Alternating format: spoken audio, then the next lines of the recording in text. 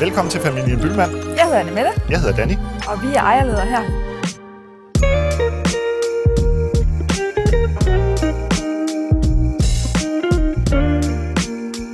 Jamen, hos os øh, i familien Byllemann driver vi hoteller. Vi beskæftiger os med hoteldrift og gastronomi på højt niveau.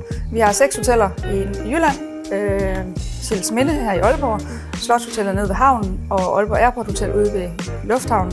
Så har vi et hotel i Viborg, Aarhus og øh, i Holstebro. Vi beskæftiger os primært med hoteldrift, øh, men har både på Nørre Vosborg og Sjælsminde et rigtig højt gastronomisk niveau, øh, hvor vi har mange arrangementer og fester og konferencer.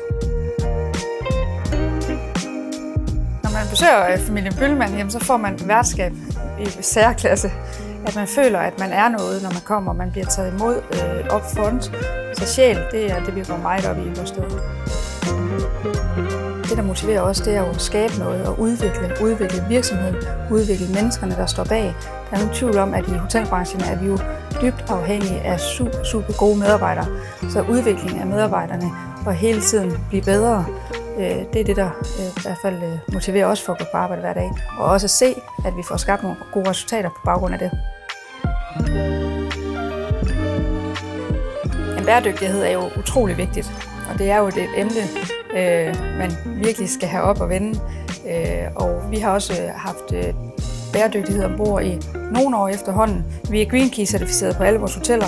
Vi har lavet en undersøgelse sammen med COVI i forhold til, jamen, hvad er vores øh, CO2-aftryk i familien Bylmand.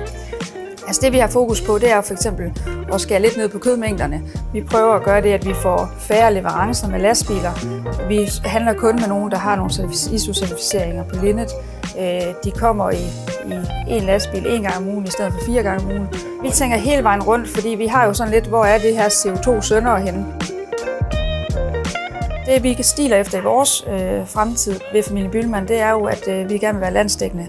Vi vil gerne have hoteller på Fyn, mangler vi hoteller, og vi mangler et hotel i København. Øh, så vi er ikke afskrækket med at skulle have flere hoteller rundt omkring i øh, Danmark. Det vil vi glæde os meget til.